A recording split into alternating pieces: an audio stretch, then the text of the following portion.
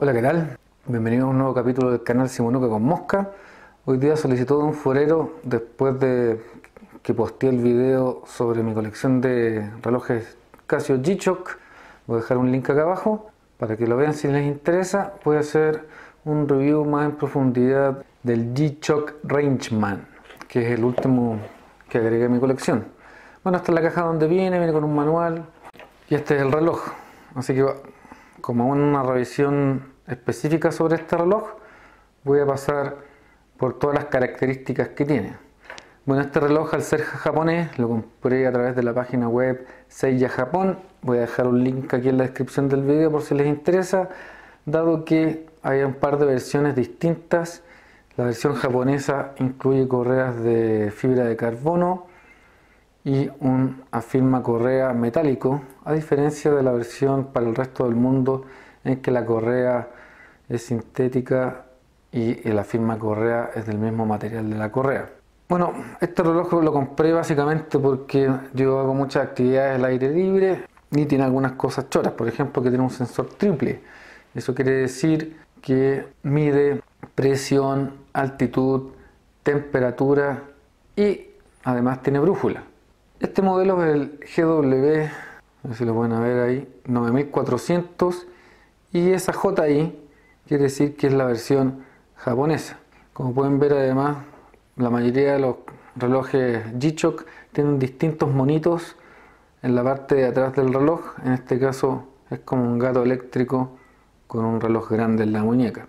Bueno, las ventajas más significativas de este reloj, para mí por lo menos, es que no requiere de baterías. No sé si se puede notar ahí, alrededor, en esta parte del reloj, hay paneles solares y por lo tanto este reloj se carga con energía solar y no requiere cambiarle las pilas. Punto importante para mí, dada la experiencia en otros relojes que hay que mandar a cambiar las pilas y es más o menos complicado. Otra ventaja que tiene que uno puede habilitar una función que al estar el reloj en posición horizontal y uno mover la muñeca y acercarse a la cara y hacer este movimiento, la luz se prende además de tener un botón para la luz aquí al frente, bastante grande y cómodo de utilizar incluso con guantes. Lo otro simpático que para acceder a las funciones, tanto de altímetro, presión, temperatura o compás, tiene un botón grande que también puede ser presionado con guantes y uno puede pasar a las distintas características. En este caso, como pueden ver, es el compás y además de poner los grados aquí, la dirección hacia el norte se presenta en este círculo más pequeño de acá. Además de indicar en palabras la dirección y aquí abajo poner la hora. Si se fijan, cada vez que presiono el botón suenan distintos pitos. Cuando suenan tres pitos es porque estoy en el modo eh, presión atmosférica y temperatura. Además despliega en el gráfico superior las variaciones de las presiones atmosféricas medidas que creo que son cada 30 segundos. Y al presionar otra vez, si se fijan, un clic es altímetro, dos clics es brújula y tres clics o tres pitos son temperatura y altitud. En este caso, para la altitud también va grabando un mapa con los ascensos o descensos en esta parte del gráfico de aquí arriba. Por lo tanto, si hay personas que les gusta hacer escalada, este reloj también es bueno.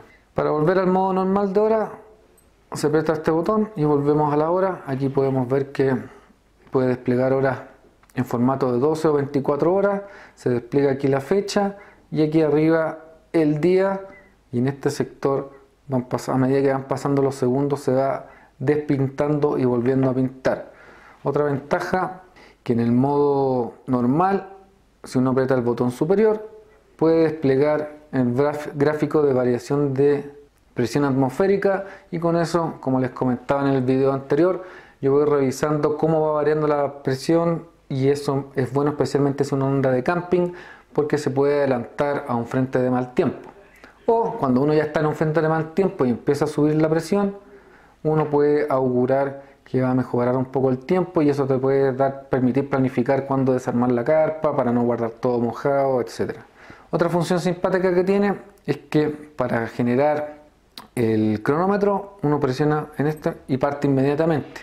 Para detenerlo en el mismo lado y para volverlo a hacer acá arriba. Y si yo quiero volver a la versión reloj, aprieto el botón de acá abajo. Como pueden ver, el cronómetro no solamente marca milisegundos, segundos, minutos, sino que aquí también marca la hora y uno las horas que han pasado, por lo tanto es centésimas de segundos, segundos, minutos, horas y aquí uno puede ver la hora actual del día. Después de que uno pasa a la versión cronómetro, tiene que pasar por todas las modalidades para volver a, volver a la hora con un pito distintivo, o sea, uno puede hacerlo sin estar mirando la pantalla, o lo otro que uno puede presionar este botón por harto tiempo y no tiene que pasar por todos los modos. Vamos a pasar para que conozcan el resto de los modos. Puedo, el primer modo después de la hora al, al presionar este es horario internacional, en este caso lo tengo seteado en Denver. Aquí aparece la hora local y aquí la hora del lugar en donde estamos. El siguiente modo es el cronómetro. El siguiente modo es el timer. La ventaja del timer que es como una cuenta regresiva. Yo lo tengo seteado como pueden ver aquí en dos horas. Se sigue desplegando la hora actual. Y cuando terminan las dos, dos horas suena una alarma y a mí eso me indica que tengo que hacer un descanso en la jornada de pesca, aprovechar de tomar agua, aplicarme bloqueador nuevamente Después la otra función que tiene son cinco alarmas.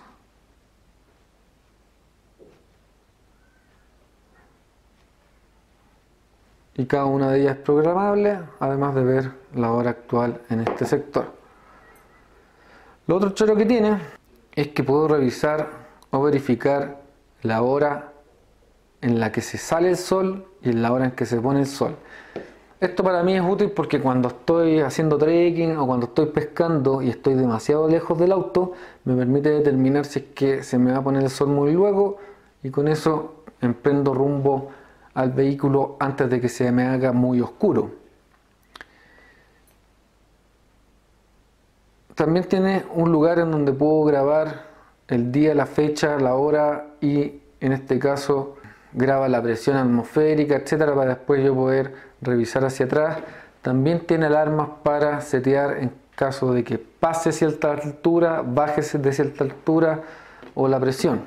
Y por último, una ventaja que lamentablemente no, en Chile no se puede usar, pero en Europa y en Estados Unidos y en Japón sí, es que tiene un receptor de radio que escucha la frecuencia de relojes atómicos que emiten la hora y por lo tanto se corrige de acuerdo a un reloj atómico y obviamente a la hora que setemos al uso horario del país en que estemos.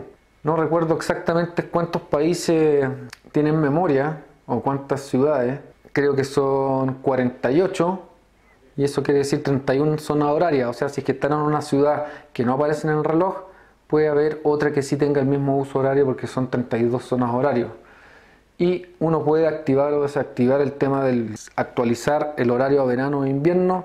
Lamentablemente en Chile donde vivo, cada presidente que agarra el poder se le ocurre cambiar la fecha en la que hay que actualizar el horario de verano, por lo tanto en este momento yo lo tengo deshabilitado. El rango de temperatura del termómetro va desde los menos 10 a los 60 grados y si uno quiere tener una medida adecuada hay que sacarse el reloj de la pulsera porque cuando uno lo tiene puesto en la pulsera normalmente la temperatura que marca es la temperatura corporal. El altímetro va desde los menos 700 metros a los 10.000 metros de altura y el metro va desde los 7,65 a los 32,45 pulgadas de mercurio o 260 1100 hectopascales. Y las mediciones son, la diferencia entre una medición y otra es de 1 hectopascal o 0,05 eh, pulgadas de mercurio.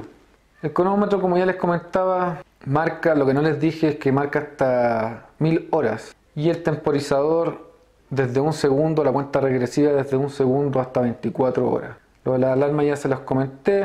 Tiene un funcionamiento continuo, es decir, si es que le deja de llegar luz, como tiene un sensor de sol por donde se carga, si deja de llegar luz, automáticamente se apaga después de cierto tiempo y todo eso es configurable y la ventaja es que eso ayuda a conservar la hora. Yo el ProTrek, que también tiene un panel solar y no necesita batería, lo tuve guardado como 6 meses y bajó de una capacidad de carga, la capacidad de carga en este reloj, a ver si enfoca, aparece aquí arriba.